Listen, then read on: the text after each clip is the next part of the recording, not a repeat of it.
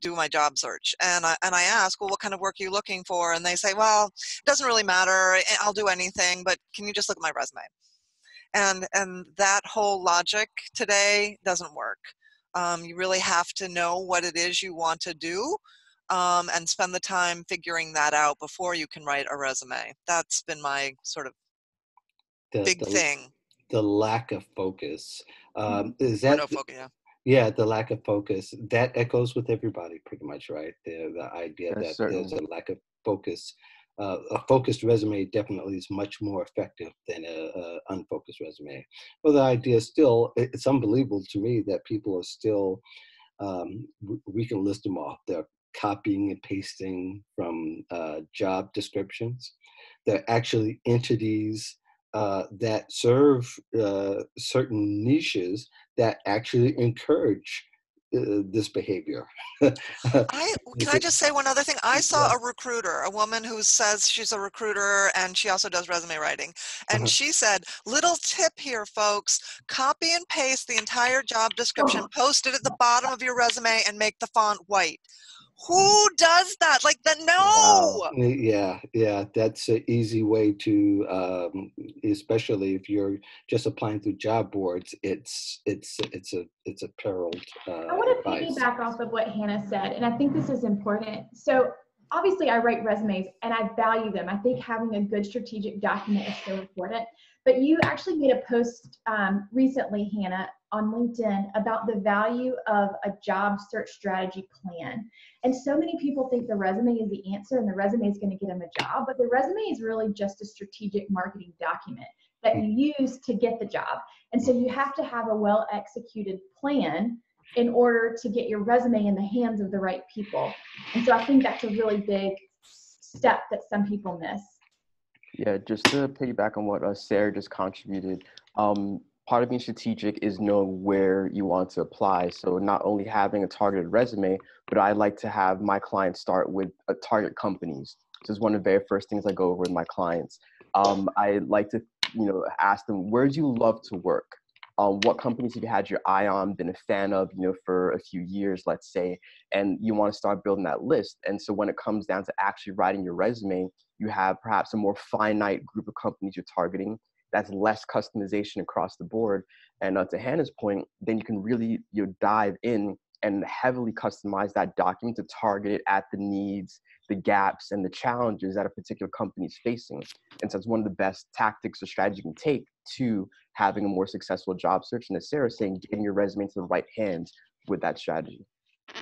Yeah, absolutely. I think I think people uh, uh, we have so many more tools now than we did back in 2010 when I first started, because we, back then this is still a good uh, strategy is to be able to use a word cloud, right? Mhm. To be able to take your resume, paste it to see what words are emphasized.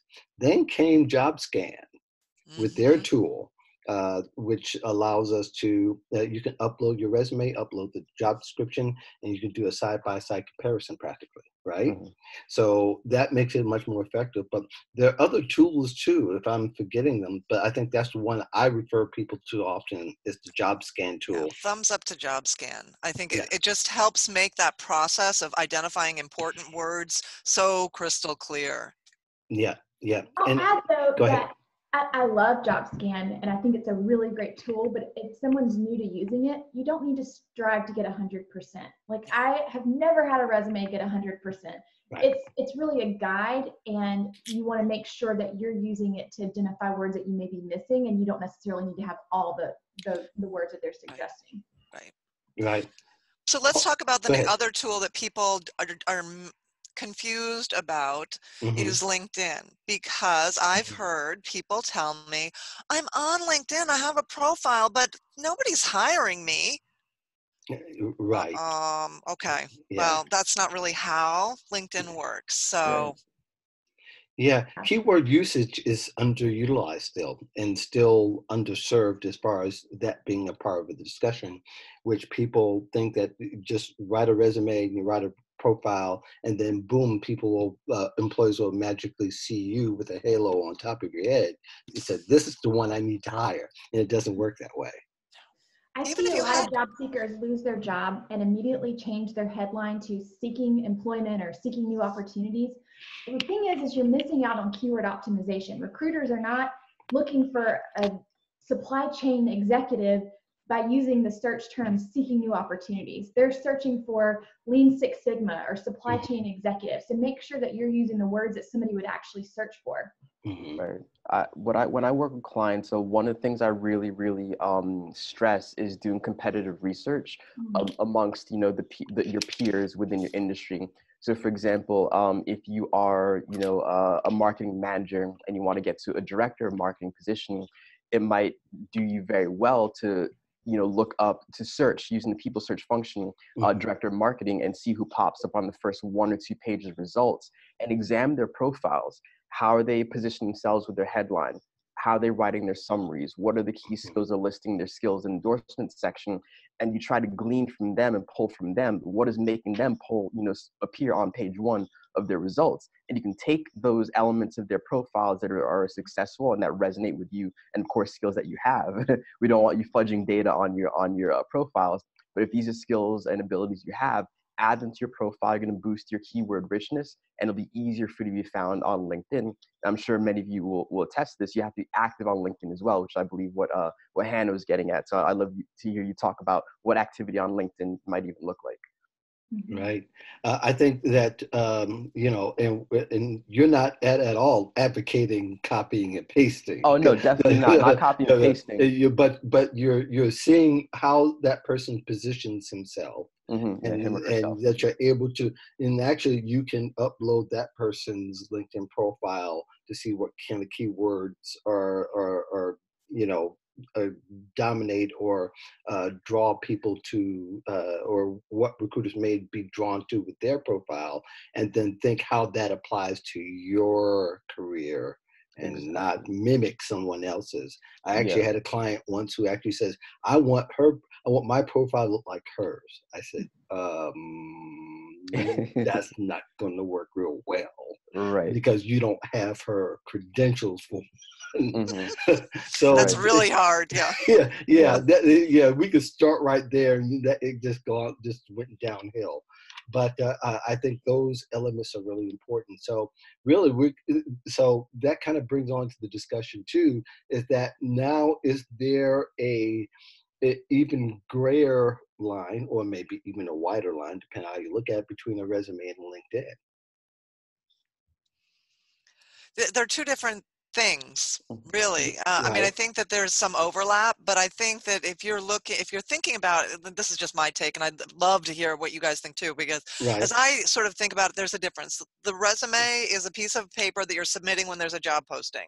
So Mhm. it's it's that sort of response to the job posting and it's highly customized to show that you have the experience that they're looking for.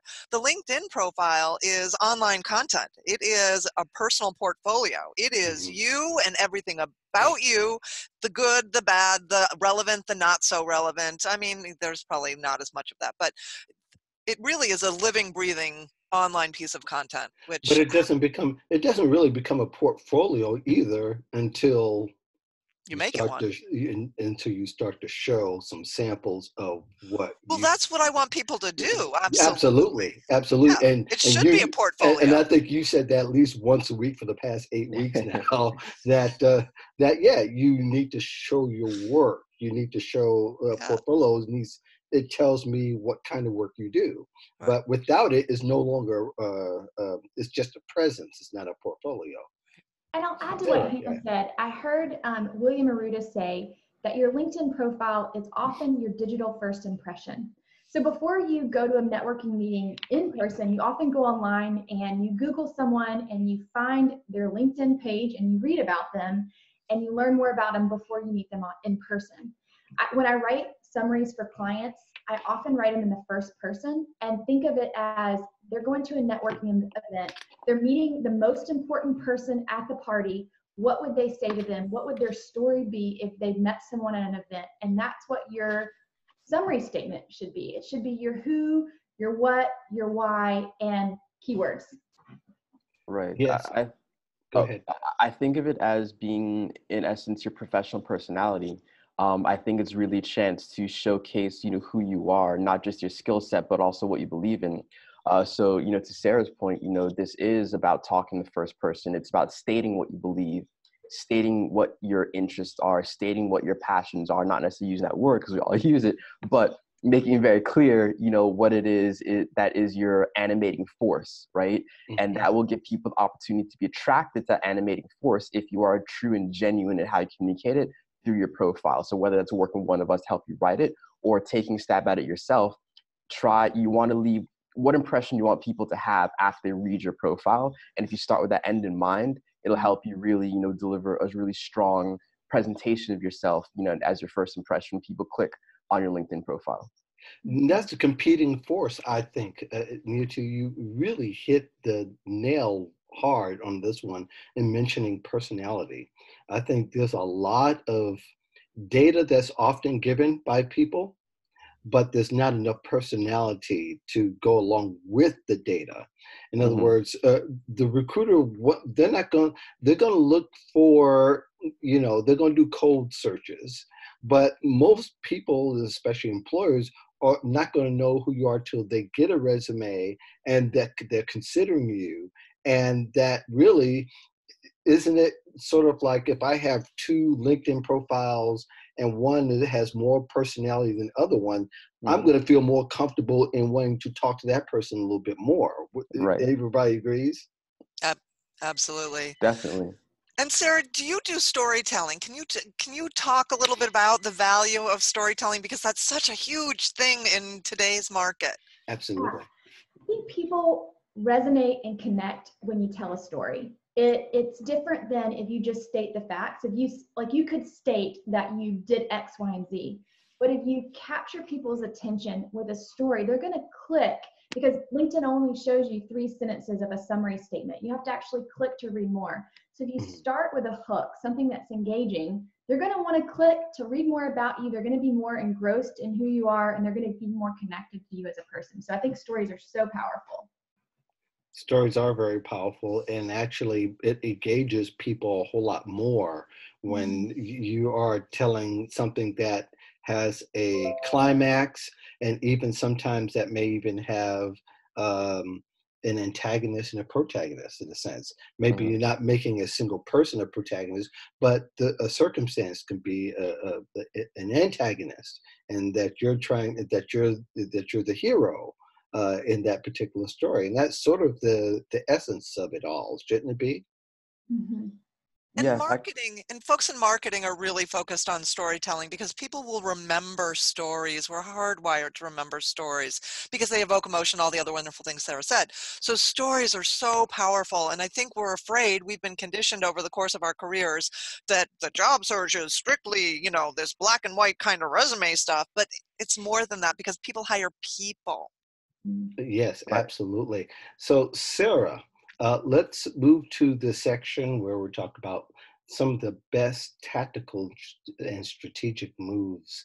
Uh, if you can name something that really has that you've seen that's really worked uh, in 2019, and, and and if you see it evolving in 2020, what would that strategy be? The most common mistake, I'll start with a mistake first. The most common mistake I hear people say is, Oh, I've applied for 200 jobs online and nobody's calling me back. I'm so depressed. It, and the reason that this is this is I don't want to use the word fruitless, but an effort that is not it doesn't pr- produce as much fruit as is the method I'm about to talk about is that applicant tracking systems have changed the way that the job search occurs. Mm-hmm. 10 years ago when I was recruiting, we would have a position that we'd post and we'd maybe get 20 applicants for that role. In mm. today's time, because applicant tracking systems have made it so easy to apply for jobs and have made um, job postings accessible to so many, um, you may get 150 applicants to that same job that we got 20 applicants to 10 years ago. So the mm-hmm. competition for roles is so much greater. And if you're just applying for jobs online, you're going to not feel successful and it's going to take you longer. Where I see job seekers in today, 2019, having success is building out targeted lists like Nii Ato mentioned earlier. Asking yourself, where would I actually like to work and who hires people like me? and creating that target list of I like to say 25 to 35. And, it, and it depends on your industry. You may be in a really niche industry where mm-hmm. there may be only 10 companies that hire people like you, but 25 to 35 target companies, and then taking it a step further and building out two separate lists. Who can I meet with who can make some introductions for me? And who works at this these target companies who would potentially be my boss? And linkedin is such a great tool in today's time for finding those target people and doing that target research. I'd like to say that um, old school skills are new school. And so whereas you know everybody's going to ai and talking about ai i think there's a lot of value in old school networking and just having face-to-face conversations with people Absolutely, and I think um, it's a problem that's uh, been. It's interesting. You put so much content out there, you see so much content in not doing that, but mm-hmm. people don't are, are, always looking for something that's easy, mm-hmm. and it's mm-hmm. just easy to blindly uh, apply and to send people and and again you hope for the halo effect. You hope that somebody sees your name and they get this revelation that you're the one. And and it, it, it doesn't work that way because you you know what? There's there's a, a ton of people who are doing the same as you are and that mm-hmm. doesn't help you stand out at all. Mm-hmm. uh, any more thoughts on that one uh, just jumping off that last point about you know a lot of people who are doing what you do, um, and just looping back in the storytelling point, I think uh, whether it's 2019, 2020 going forward, it's about being very clear about who you are and what your unique value is. That's never going to go out of style. Um, I really like to help my clients establish, you know, what their truths are, uh, for lack of a better word. So what's true about um, your your value offer what is that you do differently or better or uniquely than other people in your very same function uh, you could have to uh, sales sales clients are one of my favorites to work with um, because they are always dead set on using their numbers and yes the numbers are really, really important. However if you're competing at a certain level of job you and other people have relatively similar numbers. You're all overachieving your targets. You're all you know beating your quota and so on and so forth. And so the difference is how did you go about it versus how the other person went about it did you have a new strategy, a new tactic? Are you really good developing your sales team? You're awesome trainer and you, you, you elevated their level, that elevated everyone's level. So you have to find out what is it that was unique about your approach that you can bring an offer to a new employer that's going to stand you apart from someone who may have very, very similar performance numbers. And so that story, the context around how you uh, overachieved, uh, the antagonist being the situation, as you said, Mark, mm-hmm. um, that's a great way whether on a resume on a linkedin or in person an interview to deliver you know your your differentiating factors to your competition and stand out you know and to really uh, going forward know your value offer know differentiating factors and know how to articulate it in your marketing materials and in person. Great job. Thank you. Hannah how about you? What are what is uh, the uh, best tactical uh, strategy you've advised yeah, I, I love the idea um, Nii Ato and Sarah have talked about the the target list and, and I think that that that is really the driving factor for everything that they're going to be doing from the networking to the applying for jobs and, and the information gathering and the the gaining intelligence so that you're going to be able to be present what it is the marketplace is looking for. It just drives so much. If you have you have to have targets. Mm-hmm. um, and I've, I've been saying this for probably the whole time. I've been doing this but it just really is so important because it, it opens the doors. If you mm-hmm. can network your way into a job, that is mm-hmm. one of the best ways to stand above and beyond anybody else. Well, Hannah, you've been doing this for, for a while, and, and I'm sure that you've seen people get jobs created for them that weren't posted to begin with. Right. You know, like I, I, often see with my clients where they are high performers, they're they're well liked, they've got great reputations, and and maybe they lose their job and it feels hopeless. They meet with their network, they meet with their target companies, and jobs just kind of happen out of thin air that that maybe would not have happened if they haven't le- they didn't leverage their networks. And I think, to, so Nii Ato, you might be able to relate to this too. When Mhm. you're driving your job search because you've got a list of target companies and you're not just relying on the posted jobs, it puts you mentally in a much better position than feeling like you're at the whim of bad jobs, there are no jobs posted, and nobody's getting back to me. This this process of developing and driving your job search is really empowering. Have you found?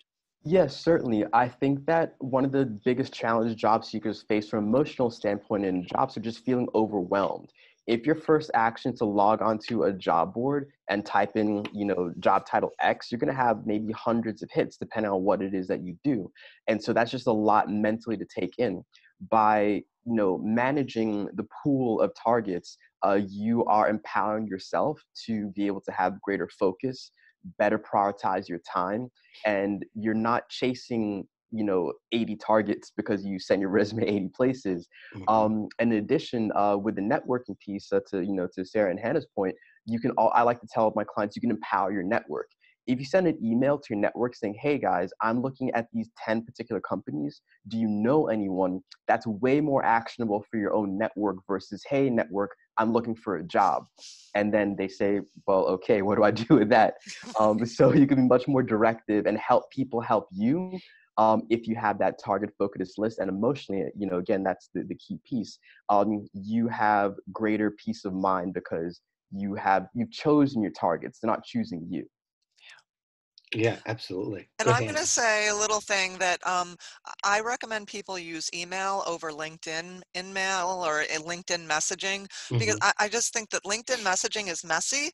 Um, and people don't that are working that are not looking for jobs are not really living on LinkedIn. So that message is not going to get seen. But we know that everybody's checking email. So if you're given the choice or chance to email somebody or send a message through LinkedIn, always use email.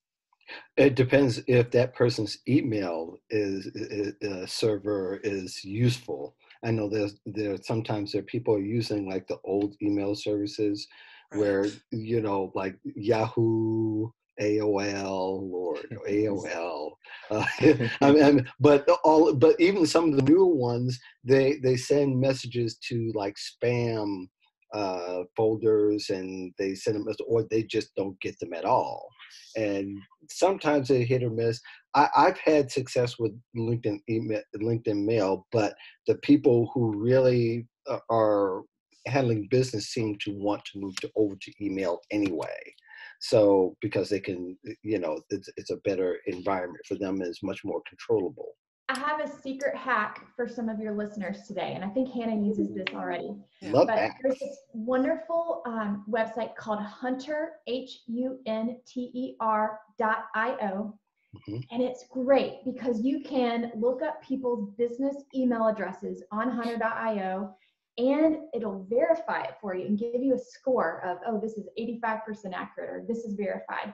There's also another one called mailscoop.com, but these are Mhm. so great. And I, I'm with Hannah. I, I think email is the way to go. Yeah, well, yeah. Like, like I said, most people want you to move over to email and not depend on LinkedIn. Um, there might be some secret out there that LinkedIn isn't all that private messaging anyway. Here in the future, who knows? But uh, uh, anybody else before I share mine? Uh, mine is is. I sigh when I say this, but I do want to talk about personal branding for just for a hot second, only because I, I have. it, it's an overstated, um, but it's not particularly overemphasized as far as its useful usage. But I think many times there are things about personal branding where there's one aspect that's emphasized by personal branding experts. Um, and that is, and, and I got this revelation in reading um, uh, William Arruda's book, Digital You. And he's probably one of the few people who emphasize more about the deliverance of your personal branding, what you deliver, and not particularly the process. And I kind of use this analogy is that, you know, if a gymnast is just focused on doing somersaults and doing a great somersault, that doesn't mean that they're going to do the whole routine correctly or that, that they're going to be able to stick the landing. And a lot of times, it, personal branding is about being able to deliver, making a deliverable where it really does stick the landing. And and to kind of bring this forward a little bit more is that you've got to be able to talk about uh, to a degree what are results in working with you? What are what are some things that are, are tangible and what, what am i going to get in working with you? You can look at people's headlines and they're still nebulous. They're still they, they still misfire if you will uh, in the sense of they don't know how to uh, put that into words and these days you've got to kind of know how to put it into words in order to for for people to get it across because the competing uh, entities and competing your competition is going to find a way to communicate that. If they don't do it in words, then they're showing something that says, this is how I deliver it. And this is what people say about how I deliver it. And this is what people are saying when I'm not in the room uh, about me delivering. Is that, am I being clear about what I'm saying here? Yeah, if I could jump in, this really resonated because I wrote an article about in a similar vein to this. Mm-hmm. I approach branding through the lens of um, how you help others, as literally being a pathway to figure out your, your personal brand. Mm-hmm. So, how you help others and, and, and answer that question will help identify who you help so there's a certain audience that you're helping. It could be your coworkers if you have an internal internal customers or clients. It could be external customers or clients, whether they be other companies or consumers. So who you help is part of your brand. Mm-hmm. How you help? Uh, are you in operations or sales or marketing? So your job function is literally how you help others. And then finally, what results deliver? There's a result of you helping others. And so if you're consistently um, increasing sales or opening new markets or developing new products, that is the product of how you carry your function, how you help others. And so if you can walk through logically the different aspects of the help you offer, I find it's a really useful way um, to to identify your brand and the unique flavor through which you help others. And so to your point about sticking the landing, the results is the proof, the evidence of how you help. And so if you can connect those dots, you know, from the audience to the function to the result, into how you help others that's an awesome way to tell the story you know of what you do and to brand yourself in a way that should stand out versus other people again who are in the same function but you do it differently and that's what we're trying to absolutely and be able to communicate on not only on your all platforms online but be able to communicate that in in and most people can do it in two sentences if they're really focused and no, nobody minds hearing two three sentences about what you do and and and even a little bit of how you do it and then uh, what people can expect. Mm-hmm. uh, that's really good communication. Sometimes it takes a long time for people to get there your, your we have very short attention spans, right? so if you're yes. trying to have a conversation with somebody and five minutes later you're still explaining what you did, yes. nobody cares. yeah, and then and then too, nobody you start to not believe them. You start that kind of discredits you the longer you talk because then it says, "Why are you going out of your way to explain this to me?" Because either you're not confident in what you're doing. You're not sure how it's coming across to me. And do you really deliver it the way you say you are after five minutes, you know? yeah, if that's what you deliver it, I don't want it. Exactly. You, you know, that person's made decision to engage and disengage all in one spiel. Sarah, any comments about? You know, I think personal branding, you have to ask yourself too, who are you? What are you? And you know, to to Nii Ato's point, you also have to ask who your audience is and what does your audience care about. But as a career coach, there's there's a lot of other people delivering the same messages that I'm delivering.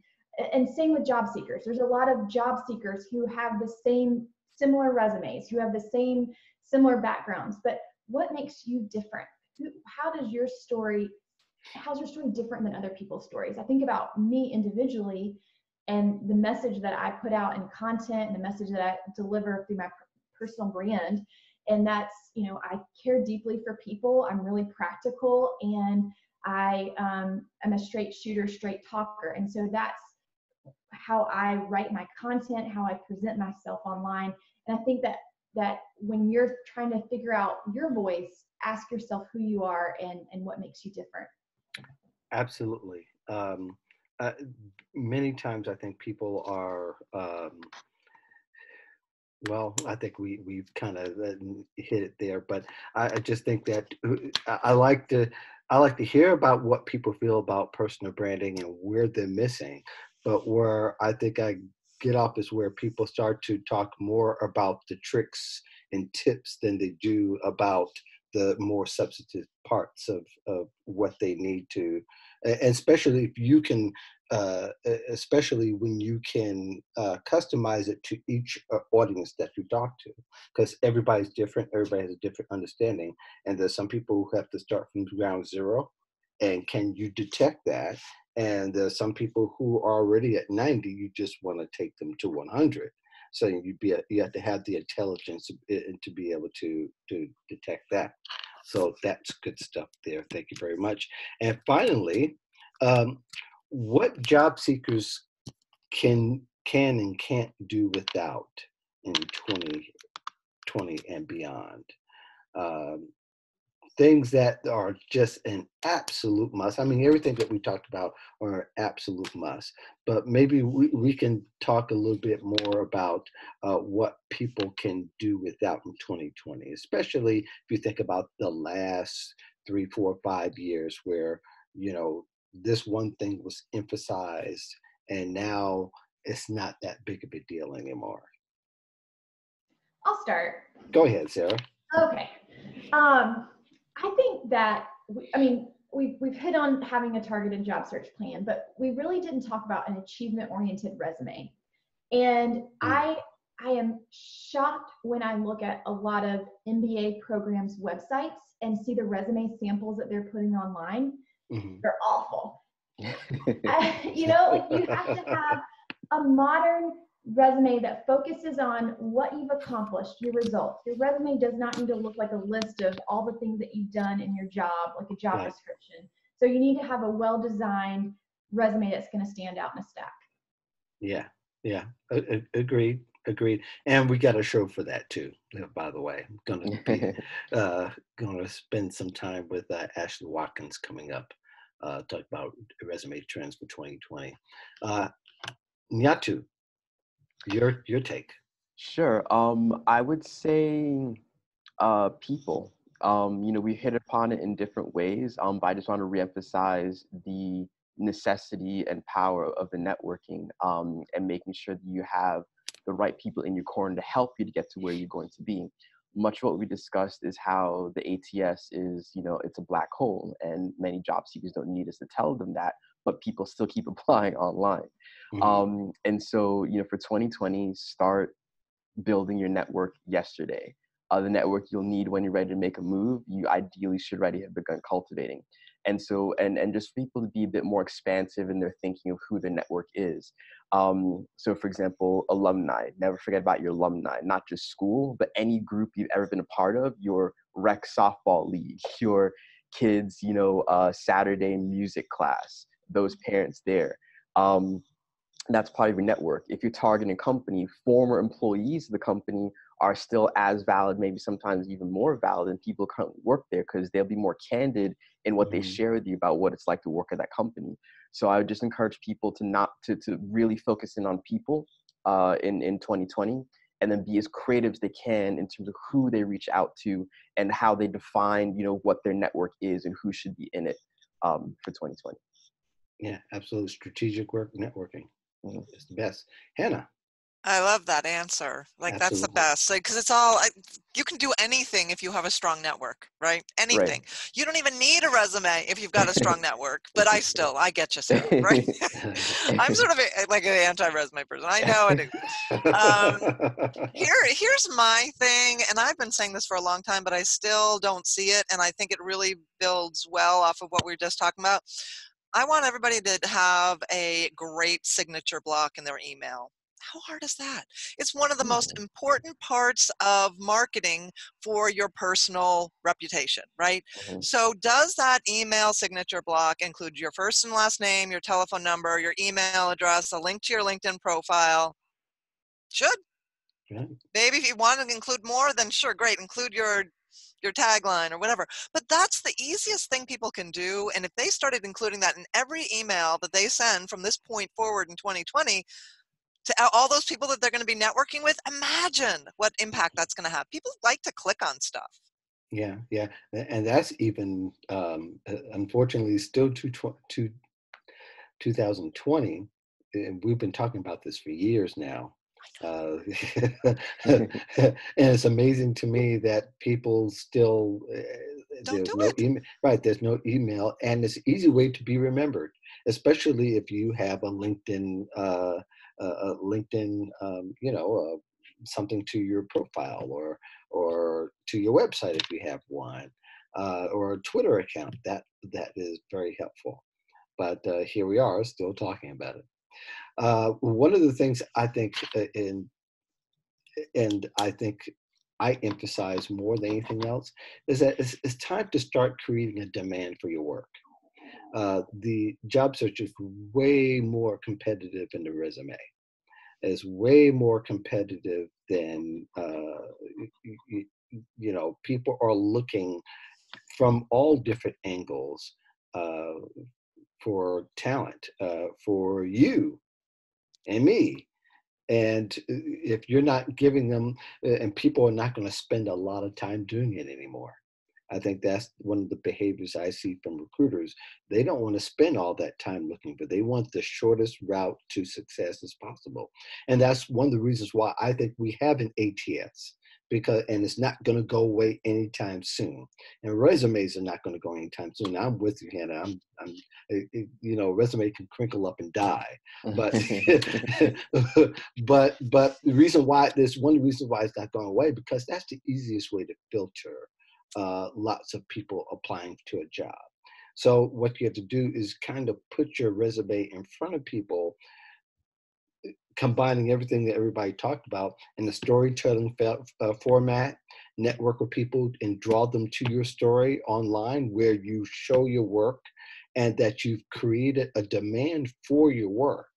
And we're talking about just showing your best. We're not just talking about putting anything out there that people will get. Uh, I try my best in my LinkedIn profile, though I'm not looking for an employer.